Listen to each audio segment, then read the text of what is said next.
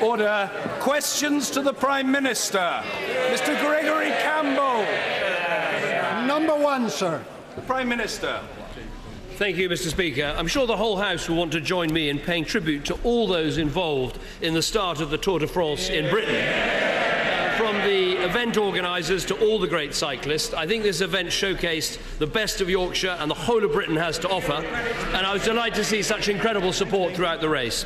Mr. Speaker, this morning I had meetings with ministerial colleagues in, and others, and in addition to my duties in this House, I shall have further such meetings later today. Mr Gregory Campbell. Thank you, Mr. Speaker. We join with the good news that the Prime Minister has just relayed.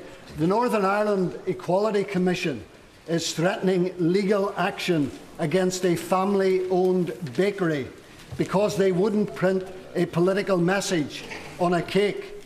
The requested message was completely at variance with the company's Christian values. Does the Prime Minister agree that so called equality is now being viewed by many as an oppressive threat to religious freedom? And does he further agree that such freedoms should be protected by the introduction of a conscience clause? Well, I, I'm not aware of the specific case that the honourable gentleman raises, and of course I'll go away and have a look at it. But I do think a commitment to equality, in terms of racial equality, in terms of equality to those of different sexes, equality in terms of people who have disabilities, or indeed tolerance and equality of people who make different, have with different sexualities, all of that is a very important part of being British.